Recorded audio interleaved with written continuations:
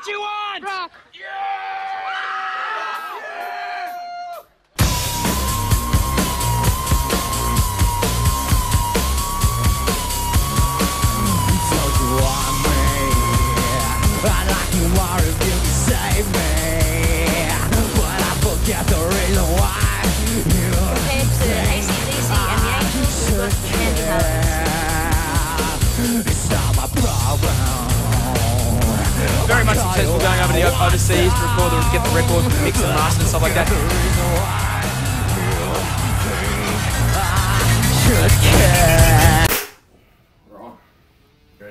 Let's go.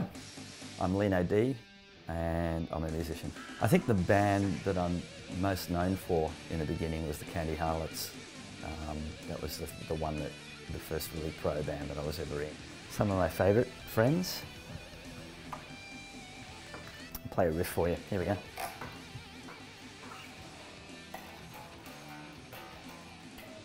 Well, Candy Harlots was like the first thing where pretty much any musician's dream from when they start and they write their own songs, they you put in all the rehearsals, you put in years of building up to something.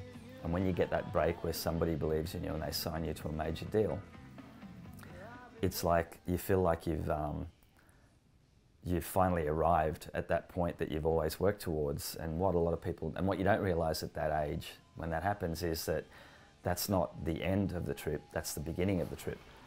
Records, some of my favourites in here.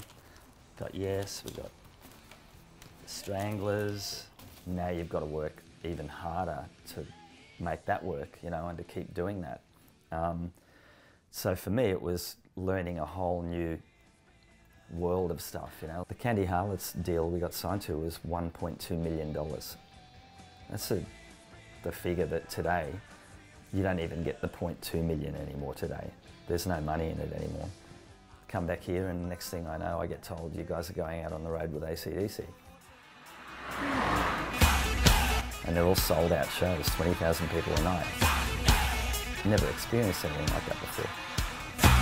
So that was pretty exciting, having our first album go into the top 30, ARIA charts, having our singles go top 20, um, getting fan mail. you know, unbelievable.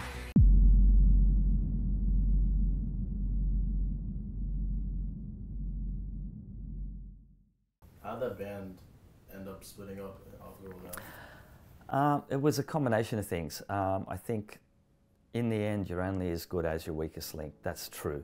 And then you get ones that have problems that they can't control, you know, like specifically stuff like drugs and alcohol. And they put themselves in a position where the band just can't go forward with them, which is a shame because those very same people are incredibly talented. But if they get crushed under the weight of those kinds of problems, after a while, there's nowhere to go but out, you know. So combination of that, and then industry pressures, industry changes, where labels get sold to new labels, um, things sort of end up that you just it's too much, and you just go, I've got to give this up. We just need to break up. There's no point, you know. It's you lose your identity, you start changing members. It's not the same anymore. It's uh, it's unfortunate, but you know, your weakest link usually lets you down first. I think I mean it didn't it didn't affect uh, personally my relationship with my brother, but I, I saw the impact that it had on him because um, I was very young at that time. I was about seven, 16 or 17 years old.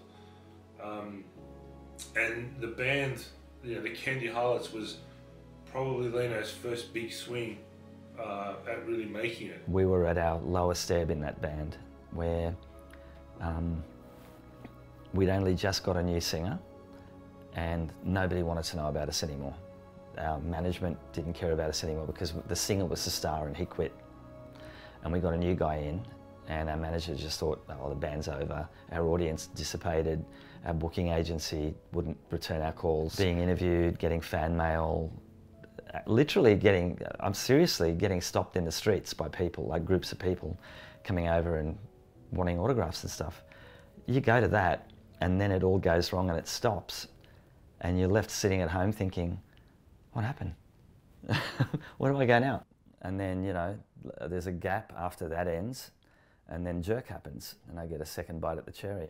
We're going to hear some more live music from the band. We're about to have a chat to Jerk. My crikey, you were bloody good before playing live. Jonathan, Lamar, Leeno, and Charles. Good afternoon, gentlemen. How are you? and it's another major deal. It's another top 30 album. It's a couple more hit singles. Um, you know, not smash hit singles because it was pretty heavy stuff, but hit enough to get to like number one spots on Triple J charts and stuff like that, which is pretty good by this stage. I didn't. I never considered quitting. I didn't. I just knew that I had to, uh, instead of struggling to figure out why things were never going to be the same, I had to just go, forget all about what you've done. That doesn't mean crap anymore. Start all over again, which is what I did, and I think that's the best thing I did. I didn't consider quitting, but I did decide it was time to stop for a bit. And one last question to wrap it up. Yep. Do you love yourself? Do I love myself? Ah, I like myself. There's room for improvement. There always is. Um, I look back and I think there's times when I shouldn't have liked myself and I could have been a better person. Looking back and seeing that helps me to be a better person. Um, I certainly don't hate myself. I like who I am and I'm pretty comfortable in my own skin. Um, like I said, I'm okay with me. Uh, if I was going to be, okay, this if I was going to be reincarnated and they said choose someone, I'd go, I want to be Leeno Dee. I want to come back as me, but with everything I've learned and improve on everything that I've done. But I'd be pretty happy being me again. It hasn't been bad so far. Had a good family, got a great wife. I've played in some great bands, and I've got some really great friends. And um, thankfully, I'm still creative, and I think I'm actually writing better now than I ever did. So yeah, I, I'm pretty happy with me.